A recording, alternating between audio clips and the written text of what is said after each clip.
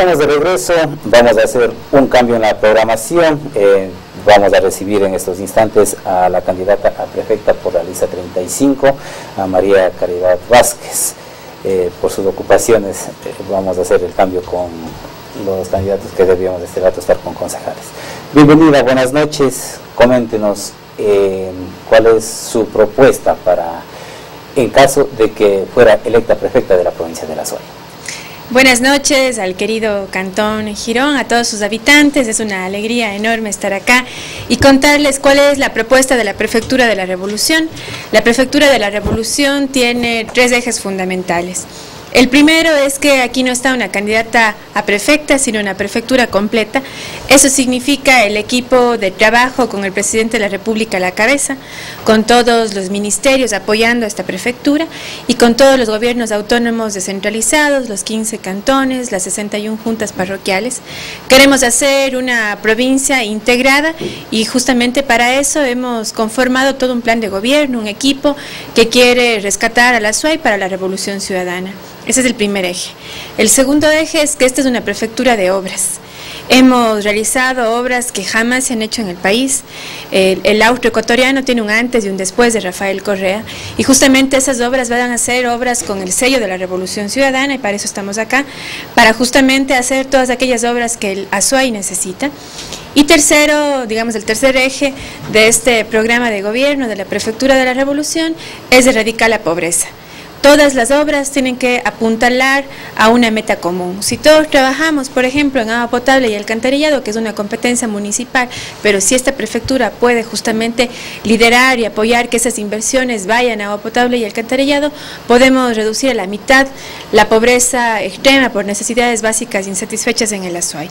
Por lo tanto, esos son como los tres ejes que marcan la propuesta de Alianza País y eh, podemos si ustedes quieren ir desagregando cada una, pero básicamente está sustentado, digamos así, en estos tres pilares fundamentales.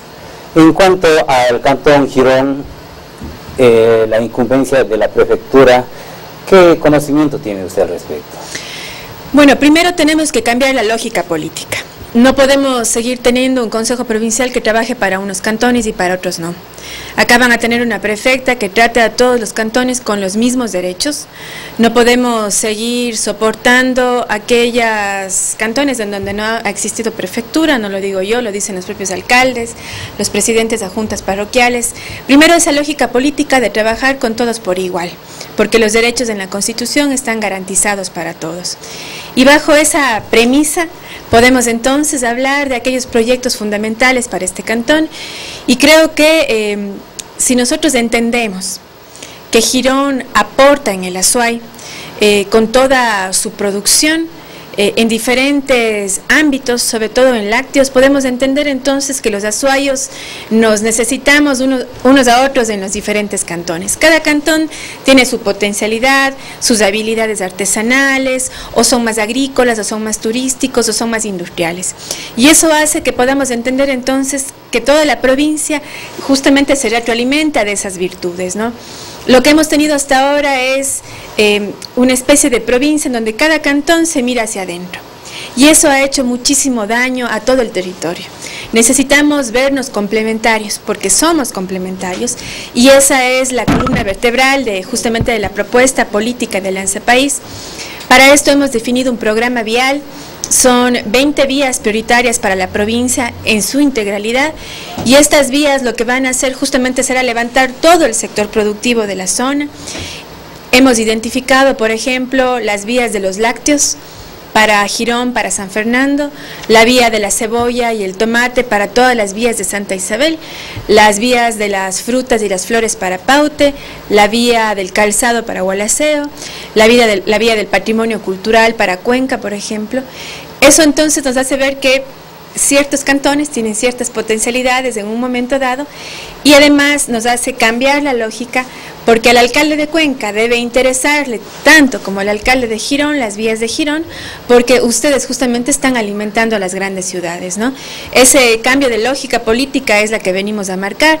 Son obras, pero son obras con sentido, son obras, pero son obras con solidaridad, con equidad. Y justamente en estas 20 vías productivas que nosotros las hemos denominado así, hemos querido fundamentar con un ejemplo claro, ¿no? Las vías son como el esqueleto de nuestro cuerpo. Si no tenemos ese esqueleto no tenemos nada, no tenemos ni turismo, ni producción, ni comercio justo, nada. Cuando llegamos al gobierno en el año 2007, con el presidente Correa como parte de su equipo en la Secretaría de Planificación, encontramos que el país necesitaba muchísimas cosas sin embargo, lo primero que había que hacer era conectar las provincias. Y trabajamos entonces los primeros años en una vialidad justamente que conecte a las provincias, con aquellos puentes históricos, con aquellas vías que el auto soñó siempre y eso hizo entonces que tengamos un país primero conectado, más equitativo, y sobre eso se pueden entonces montar otros proyectos, los turísticos, los productivos, los comerciales, etcétera. Antes de eso es muy difícil hacerlo. En este momento tenemos una provincia totalmente desconectada, con una vialidad rural en pésimo estado. Si no tenemos ese esqueleto, no podemos hablar de producción. En Santa Isabel estamos consumiendo la cebolla de Perú, cuando Santa Isabel es el mayor productor de cebolla en el, país y justamente no lo podemos hacer porque no pueden sacar sus productos. Ahora, aquí eh, nace una pregunta. Usted manifiesta de que eh, la prefectura se maneja de acuerdo, podríamos decir, a intereses políticos en hacer o realizar, en hacer presencia en ciertos cantones. Eh, y nos también que tenemos una vialidad que no está en buen estado. Pero ¿cuál es el argumento de la prefectura de que no hay recursos? Que el gobierno, por ser eh, distintos lineamientos políticos, no entrega los recursos para la provincia. Entonces, eso es lo que ha mantenido o mantiene a una gran parte, un gran porcentaje de la vialidad eh, a cargo de la prefectura en mal estado. Tenemos que actuar con la lógica con la que ha trabajado el presidente Correa. Mire, no se ha escatimado recursos eh, ni se ha dejado un territorio para ubicar hospitales, escuelas, puentes y vías que son de competencia del gobierno central, de norte a sur, de este a oeste, con igual equidad. Usted encuentra una escuela del milenio ubicada tal vez en lugares donde están en contra del presidente. Y esas escuelas se hacen ahí porque necesita la gente. Ahora, si miramos de la SUAI para adentro, hay competencias que, que en este caso son de la prefectura. Y gestionar esos recursos significa un trabajo y una labor de quien está a cargo de eso. Lo que está sucediendo en el ASUAI no es normal. Tenemos las provincias del Oro, de Guayas, de Tungurahua, absolutamente expeditas, vías rurales de primera. Acá en el Azuay hemos tenido un prefecto que se ha quejado 11 años que se ha victimizado y eso ya no podemos soportar. Nosotros necesitamos obras y eso significa una gestión enorme. Estas 20 vías prioritarias eh, representan alrededor de 500 millones de dólares. Vamos a gestionar esos 500 millones de dólares para el Azuay en su conjunto. No vamos a dejar que un alcalde eh, se desgaste frente al Ministerio de Finanzas eh, peleando por un tramo de una vía, gestionando el tramo de otra. Queremos que este programa vial sea liderado por la prefectura, con los 15 alcaldes. Pero decir, bueno, yo puedo, 500 millones, con eso tenemos subsanado el problema de vialidad. Eh, decir eso eh, puede resultar sencillo. Cumplir eso va a ser eh, complicado. Bueno, hemos cumplido. Y eh, vea usted, cuando llegamos en el año 2007 nadie creía que podíamos hacer la cuenca Molleturo Naranjal o la cuenca Loja. Parecían un sueño y lo hemos hecho. Lo hemos hecho con muchísima gestión, con planificación, con ejecución, pero lo hemos hecho. El tranvía, que es un proyecto de un municipio, eh, del tercer municipio del país, eh, cuesta alrededor de 280 millones de dólares. También había gente muy incrédula que decía, ¿y cómo lo van a hacer? Sería imposible para un municipio conseguir tres veces más que su presupuesto. Y el alcalde lo hizo. Cuando se trabaja en equipo, cuando se articula, es muy distinto. Si usted vive en oposición, eh, créanme, pocas cosas puede conseguir. Aquí hay que articularse, hay que aunar esfuerzos, hay que trabajar en equipo. Es como cuando juega el Ecuador. El que está pateando para el otro lado está en contravía y no vamos a llegar nunca a, a ganar el partido, ¿no? Tenemos que todos apuntalar hacia una misma línea, hacia un equipo completo y efectivamente lo que estamos diciendo lo vamos a lograr. El mayor valor de la revolución ciudadana es el valor en la credibilidad de su palabra. Pero lo que hemos dicho se ha hecho. Lamentablemente eh, eh, todos los partidos políticos, todos los candidatos eh, le acusan al otro, el otro al otro y vemos los ciudadanos más bien como una actividad a la cual se le tiene apatía a, las candidaturas, a los, a los procesos de campaña, porque se hacen ofertas y luego no se las cumplen. Bueno, seguramente habrá un cansancio, efectivamente. Tenemos una prefectura que firma convenios como hojas volantes. Seguramente la gente está cansada de eso. La revolución ciudadana es muy seria. En los temas viales hemos cumplido con las cosas que se han dicho. Yo cuando recibí la Secretaría Nacional de Planificación, el sistema vial tenía apenas una conexión del 20%. Ahora tenemos una conexión de casi el 90%. Nos faltan estudios de algunas vías, pero lo estamos cumpliendo y lo estamos completando.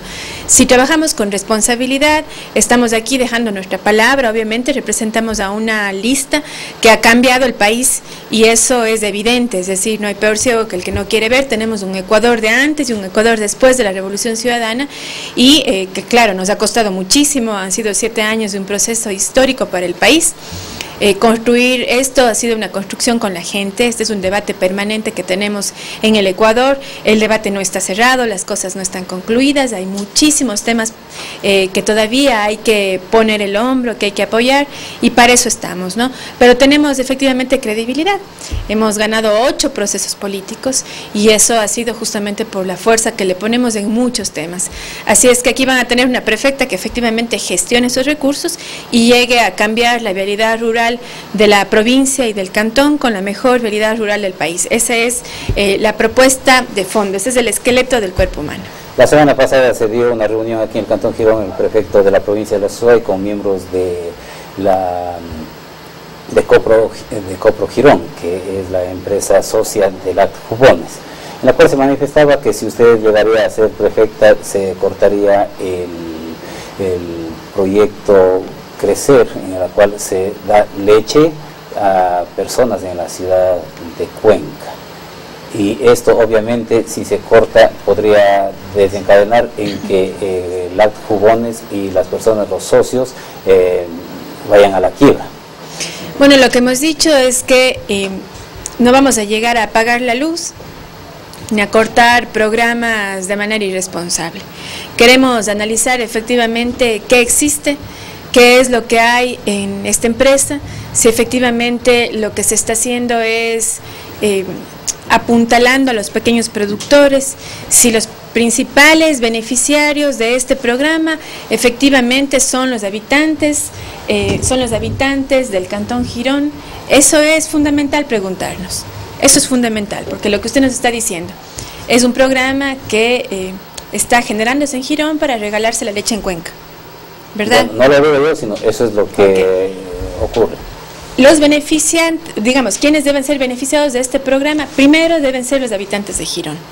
Eh, con aquellos pequeños productores que hemos conversado, nos han dicho que eh, ni siquiera les pagan a tiempo, que la leche no se está trayendo de justamente de acá, sino están trayendo de otras provincias, porque no existe esa producción de leche para poder regalar a, todos los habitantes.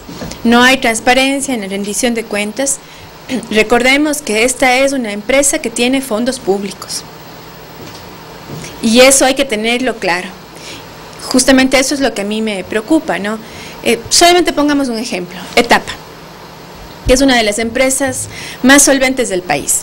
Etapa tal como está su situación, absolutamente sana financieramente, no es capaz de regalar una línea telefónica. Porque justamente tiene que rendir cuentas de, su superávit, si realmente el objetivo de la empresa es regalar líneas telefónicas. Yo me pregunto, si esta empresa, LAC Jubones, donde no se rinde cuentas, donde no se les paga a tiempo a los pequeños productores, donde los principales beneficiarios no es Girón, no es el Cantón Girón, vale la pena efectivamente mantener el programa tal cual o fortalecer el programa en donde Girón sea el primer beneficiario y donde los pequeños productores sean los primeros beneficiarios. En este momento están trayendo la leche de otras provincias. Por lo tanto, eso es lo que yo he dicho. Vamos a analizar el programa de tal manera que el objetivo en la creación de esta empresa, que el objetivo de esta asociación pública y privada efectivamente se cumpla si tenemos recursos para regalar, si existe leche justamente para regalar a todos los habitantes de la provincia, pues entonces justamente habrá que trabajar con quien tiene la competencia, que es el Ministerio de Inclusión Económica y Social, que además de eso podría apoyarnos muchísimo más porque ellos son especialistas en los temas de nutrición, ellos son especialistas en el tratamiento de justamente de, de los niños con el Ministerio de Salud. Y eso, digamos, va para todos los programas, para todos los programas. También me decían del ecoparque productivo, si voy a mantener el ecoparque productivo. Y yo le pregunto, ¿dónde está el ecoparque productivo? Es una maqueta, un, letrero, pero un ecoparque no existe. Por lo tanto, creo que hay muchas cosas que están infladas, hay bastante marketing político sobre lo que hay y realmente no existe, y hay muchísimas cosas que analizar para ser responsables. Hay una diferencia clara me encontraba yo con una señora en la calle que me decía, Álvaro Novoa nos regalaba avena. Y ahí hay una diferencia, Álvaro Novoa nos regalaba la avena de su bolsillo, porque es uno de los hombres más ricos del país. Aquí la leche no nos están regalando del bolsillo de nadie sino de recursos públicos y de pequeños productores que tienen que ser manejados los recursos y los objetivos con un fin social profundo. A eso venimos acá, para transparentar las cosas y para hacer que las cosas lleguen a aquellos que más lo necesitan, que en este caso el objetivo de esta empresa era ayudar a los pequeños productores. No se les paga tiempo y además de eso la leche se trae de otras provincias. La prefectura en el hecho de que el gobierno da bonos eh, a muchos sectores también. Entonces, ellos justifican que el regalo de la leche es también un subsidio a gentes necesitadas. Es una concepción totalmente distinta, totalmente distinta. Primero, el bono de desarrollo humano está eh, ubicado se hace todo un estudio para ubicar a madres que necesitan el bono, no se, no se recibe, no se recibe el bono o cualquier persona no puede recibir el bono. Luego, aquella persona que recibe el bono es una persona que tiene que primero mandarles a sus niños a la escuela, hacerles el control de crecimiento en el Ministerio de Salud y tiene un fin productivo. Por lo tanto, por ejemplo, una madre puede pedir el bono por adelantado por un año y se pone su pequeño negocio, ¿no? La competencia de la inclusión económica y social es una competencia del gobierno central. La competencia, ¿no es cierto?, de las, de las prefecturas es una competencia productiva. Y en esa competencia productiva tenemos que clarificar bien qué es lo que hacen estas empresas públicas. Entonces no es comparable una cosa con la otra. Ya, muy bien, tenemos una llamada telefónica. Buenas noches, ¿con quién tenemos el gusto?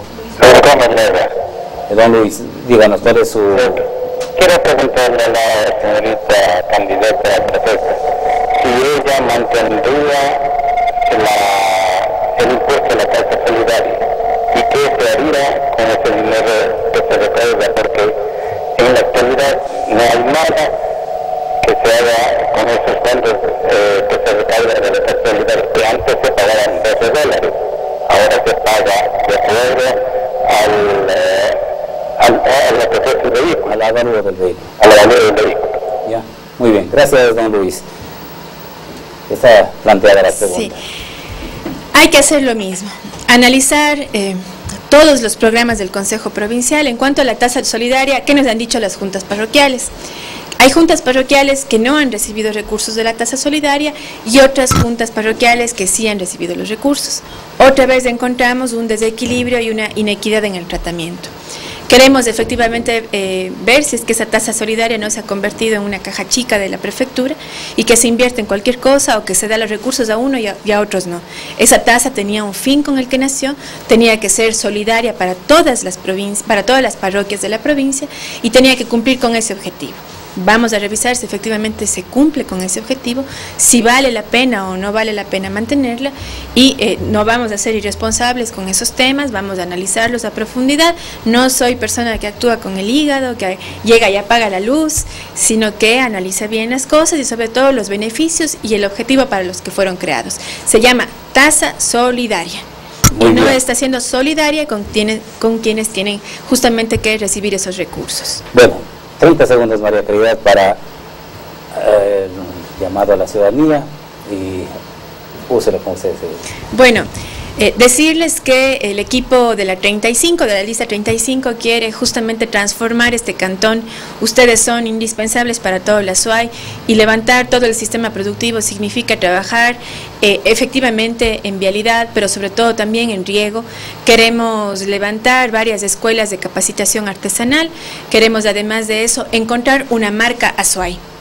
Eh, queremos hacer lo que hizo Juan Valdés en Colombia, ¿no? Es decir, encontrar cuál es la marca en donde todos le pongamos, eh, o todos nos enfoquemos en apoyarle, ¿no? ¿Cuál va a ser la marca acá en el Azuay, por ejemplo? Que sea la marca de la SUAY para el país, en donde concentremos todos los recursos, en donde justamente organicemos a todos los campesinos, en donde además hablemos de crédito, de capacitación, con la misma equidad y queremos hacer que la SUAY sea una provincia ejemplo justamente en, la, en producción, en, en empleo, en capacitación y sobre todo que tenga esta mirada integral, esto de entender que cada cantón nos necesitamos unos a otros y que no tengamos estas diferencias que actualmente están pasando, ¿no? Eh, tenemos, por ejemplo, a Nabón y a Oña como los cantones más pobres de la provincia, en donde apenas el 40% de la población tiene agua potable y alcantarillado, fíjese usted, frente a otros cantones que eh, tienen ya casi cubiertas sus necesidades, queremos que el desarrollo sea equitativo. Si todos los cantones pueden desarrollarse de manera equitativa, estaremos hablando entonces de una provincia integrada, compacta, que efectivamente está siendo solidaria. Ya, tenemos una llamada telefónica, vamos a hacer la última llamada. Por favor, eh, una pregunta eh, concreta y también una respuesta rápida porque nos claro que sí, claro. Buenas noches, ¿con quién tenemos el gusto? Buenas noches, eh, señor Peralta. Eh, Rodrigo Garzón, de Salud. Quería preguntarle a la licenciada María Caridad Vázquez de llegar a la prefectura con el voto del pueblo si mantendría o no el cobro del peaje en la vía Girón San Fernando en este momento la vía se encuentra en pésimo estado y se sigue cobrando por tanto hueco que existe y que los carros se dañan. Gracias, Juan Rodrigo. Bueno, yo estuve hace 15 días en esa vía, realmente nos, digamos, es lo que dice el señor, ¿no? Nos cobran por cada hueco por lo que pasamos. En esas condiciones no puede sostenerse ningún peaje. Para cobrar peaje la vía tiene que estar expedita. Por lo tanto, eh, habría que analizar justamente con la mesa de vialidad estos temas, pero tal cual está la vía no tiene sentido seguir cobrando peaje. Eh, digamos, es una vergüenza para la señorita que está ahí en la caseta, ella mismo dice, no sabemos ni por qué tenemos que cobrar si efectivamente la vía está hecho pedazos, ¿no? Eso no tiene sentido y ese peaje no puede ir más eh, con ese tipo de servicio y esa calidad de vías que, que nosotros no queremos mantener, no queremos vías con, la, con el sello de la Revolución Ciudadana, ustedes saben cómo son esas vías y esas vías son las que tendremos en el Azuay. Bien, gracias la presencia de, presencia de María Caridad Vázquez, candidata a prefecta por la lista número 35. Nos vamos a un espacio. En minutos estamos con los candidatos a concejales por la misma lista.